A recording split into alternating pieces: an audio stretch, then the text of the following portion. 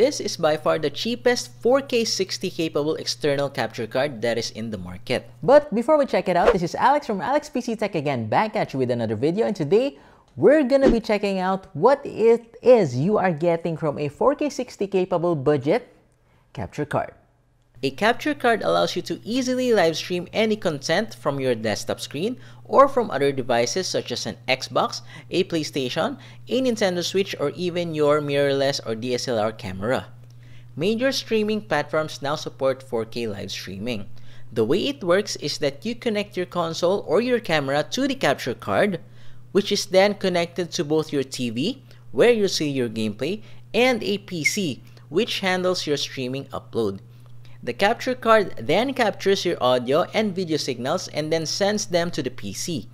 Most streamers even have dual PC setups where you have one PC for gaming and the other one is used to stream and record the game footage. You can add a live commentary via a game headset or a condenser microphone by plugging in the capture card's provided audio jacks.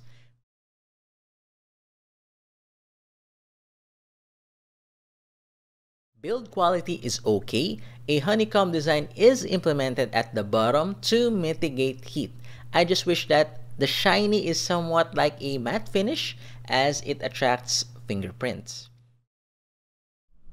Setting it up on OBS is relatively simple as after plugging in the device, the computer automatically detects it without any driver installation needed. So what we're going to be doing is we're going to go down here and add source and in this case we're going to be adding a video capture device as my Sony camera is plugged on the computer. So we're going to press OK and as you can see, whoops, it might turn uh, a little bit dark there but you can see that the camera was automatically detected by the OBS. So I'm gonna just press OK and as you can see here, what we're gonna do is, yeah, we're gonna lessen this one up. So as you can see, there were two sound sources that has occurred. So I'm gonna mute this one. Yeah, so this one, this sound that you can see here is from the camera itself, all right? So if you want to add a separate source like if you're gonna be doing a commentary and you're gonna be plugging that microphone into the 4K capture card, what you need to do is, again, you're gonna need to add another image input capture. And for example, I'm gonna name this Kuhai Me. Alright, so this will be for that one. And we're gonna check if we can add. So this will be from the HDMI 4K USB 3.0 Capture Pro. So this will be where your commentary if you add a mic on the Kuhaimi or in this case you can even add a mic only on the PC so it's up to you. So this is how you choose from those.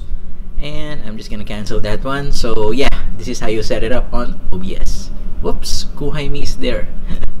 Oops, gonna mute that one. So this is how you set up the audio interface and how you set it up on OBS. This will be relatively the same if you are gonna be using a console so you can maximize it out or if you're gonna be doing or capturing from other devices, consoles, computers, and in my case, camera right now. But Alex, some devices have live streaming options and my PC is even powerful to live stream while game on it. Yes, while this is true, there are certain limitations that you will meet and certain data speeds or resources that you can maximize by using a capture card. Recording your gameplay and at the same time streaming at high quality requires a workload that a mid-range to even high-end PCs will struggle if you also game on the same machine. Why the 4K though? The highest resolution that viewers can enjoy right now on major streaming platforms is at 4K. The pass-through lets you enjoy your gameplay at its full resolution and frame rates. Currently, the maximum pass-through for 4K signal for HDMI 2.0 is at 60 FPS and record at 4K 30. So, if you have a 4K screen, whether it's a TV screen or a computer monitor, you will still be able to harness all that resolution while streaming at the same time using one of these 4K capture cards.